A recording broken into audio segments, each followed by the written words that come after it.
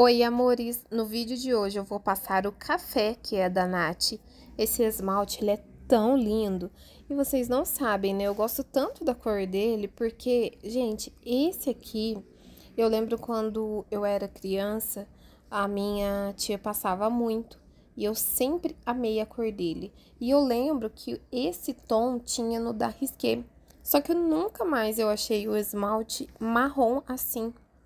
Então, eu lembro que a minha tia passava esse, passava o rebu por cima, ficava uma cor perfeita, uma cor maravilhosa. E daí a Nath tem esse, né, que é idêntico, gente. E assim, porém, a, a pigmentação do esmalte da Nath é melhor que o da Risqué. Então, tá um arraso, eu gostei bastante desse café. E aí, eu venho fazendo a palitação normal, né? E vocês podem notar que ele é bem um chocolate mesmo, é aquele marrom que é marrom, né? Que é a cor que a gente gosta. E aí eu fiz uma misturinha. Eu vou usar aqui é, o esmalte que ele se chama Divas.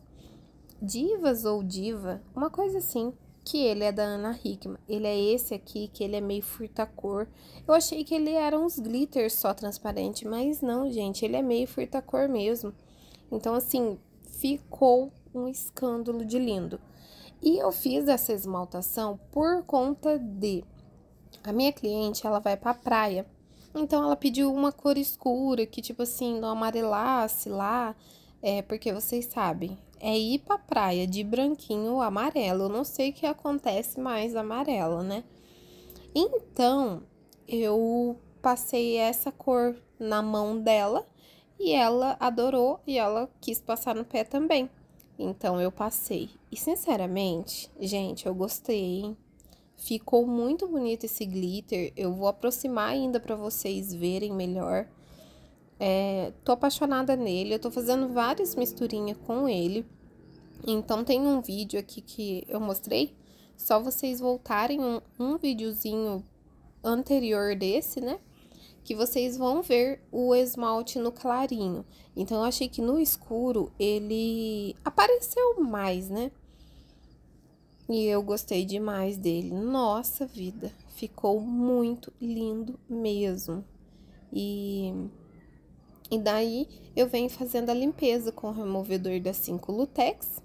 Eu passei aqui o extra brilho, porque sempre eu finalizo com o extra brilho, tá, meninas? Então, assim, Pode ser qualquer cor de esmaltação, seja brilhosa ou seja fosca, o esmalte, né? Eu tô passando o extra brilho, porque para as minhas clientes, o extra brilho, ele além de não manchar, ele não estraga a coloração do esmalte.